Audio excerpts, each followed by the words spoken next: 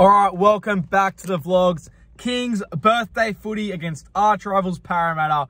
I could not be more excited. We were robbed last week against the Roosters, but we're back today. Monday Arvo footy. The Eels have never beaten the Doggies on Monday.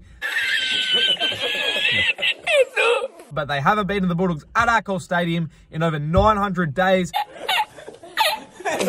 They've never beaten us on a royalty birthday. I am pumped. Doggies, doggies, doggies. 13 plus. Hopefully it's just like last year. Reed Mahoney on the right end of a smashing. I am pumped, as you can tell. But let's get into it. I'm at the car park. Let's get over to the game and let's just cross our fingers and our toes and hope that the doggies can pull off the upset. Let's trot, baby. Let's off, baby. Gonna tell myself I'm man, no get angry. Hey, yeah, yeah, Two Eddie girls calling them K9. Hey, yeah, but they tell me, hey man, start up the party. You put a woman in front and I'm All right, we're here in the stadium. We're gonna go get a hot dog, or I can get one in nice and early, and then go to my seat. Let's talk. Bruh, hot dogs are four dollars today. That is a rugby league bargain. All right, round 15, King's birthday. Welcome back to the hot dog reviews. Let's have a look. That was honestly, bro. Honestly, that's five out of five Let's Trots. I'm shocked at how good that hot dog was. Usually that cost sucks. It was only four dollars as well. So shout out, five out of five Let's Trots. behind. I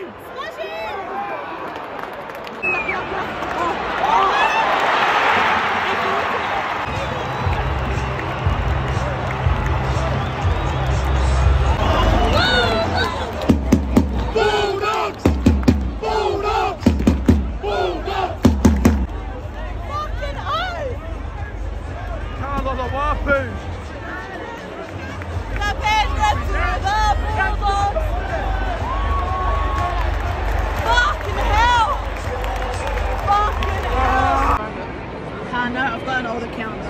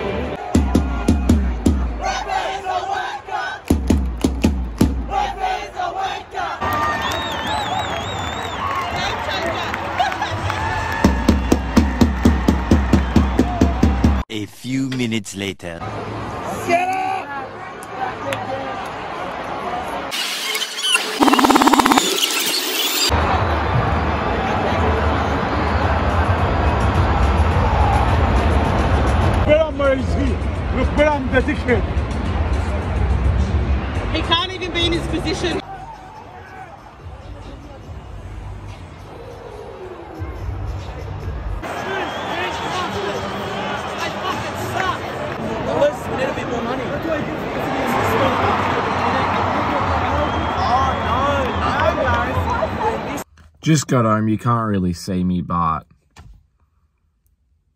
that was beyond disappointing. That's, in my opinion, the worst loss of the year.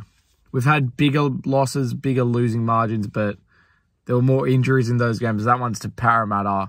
who were missing more players than we were missing, who have had one of the worst weeks in the club's, maybe not the club's history, maybe the club's history. Definitely one of their worst weeks in a long time. And we still toss up that performance. There are a lot of players in our side that need to be dropped, in my opinion. I just, we just can't keep tossing up those sort of performances when there's blokes in carp that are killing it and that deserve a crack. And it's just frustrating. Every week, it's the same thing. Almost every week, it's the same thing. And you can sit here and you can say, you know, there were poor referee calls.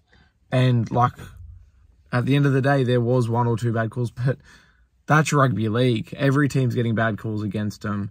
And at the end of the day, our defense was just not nearly as good and as good as it has to be. I thought our attack was all right, but it's just some of those defensive reads. Tevita Pangai Jr. had some real shocking ones. Perham at the back wasn't great. I think credit to Burton, Oloapu, Preston, and Rajab. I thought they were all really good. There were some good performances, some good individual performances, but overall, that's just hard to take. It's hard to swallow. But we go on to next week.